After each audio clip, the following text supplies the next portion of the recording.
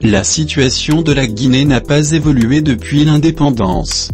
On se plaint encore des mêmes mots, un manque criard de biens et services pour assurer une satisfaction des besoins fondamentaux de la population.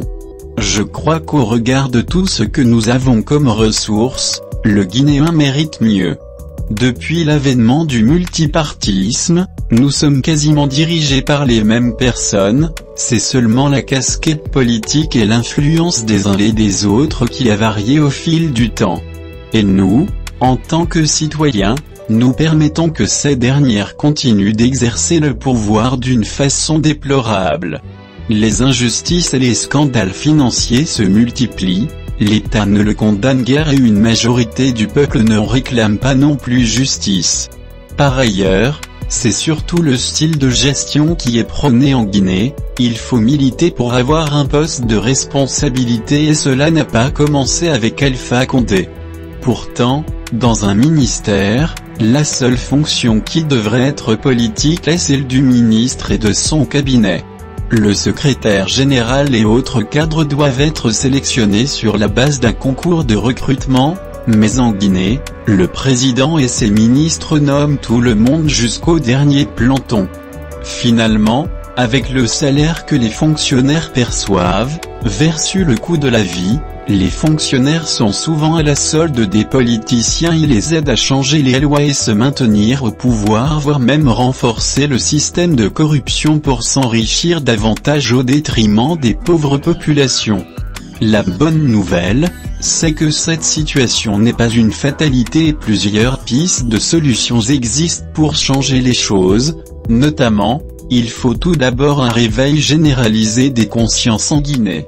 Il faudrait que les leaders communautaires, d'opinion et politiques s'intéressent d'abord à comment faire évoluer les mentalités et ce, dans tous les domaines, à respecter eux-mêmes les lois du pays, apprendre à voter pour un projet et non pour une personne, éviter les haines ethniques, accepter d'innover dans le monde des affaires. Il faut repenser notre modèle de gouvernance, Lorsqu'on procède au recrutement de personnes qualifiées et non de nommer des cadres par militantisme, cela favorise la dépolitisation de notre administration publique et permet à nos cadres de travailler avec leur confiance. Leur conscience et leur compétence sans devoir forcément plaire à un politicien et diminue considérablement le népotisme et le clientélisme qui gangrènent notre pays.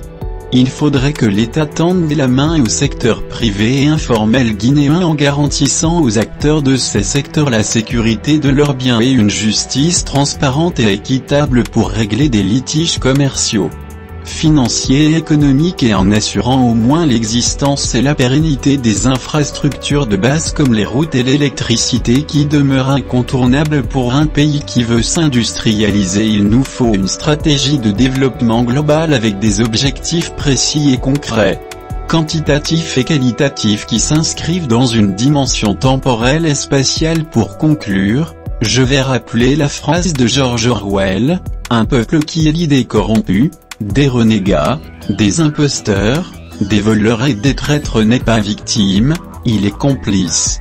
J'appelle donc le peuple de Guinée dans son ensemble à s'engager que ce soit dans la politique ou dans la vie sociale ou même économique, il est celui qui subit, lui seul a la solution aux problèmes qui minent le pays depuis plus de 60 ans.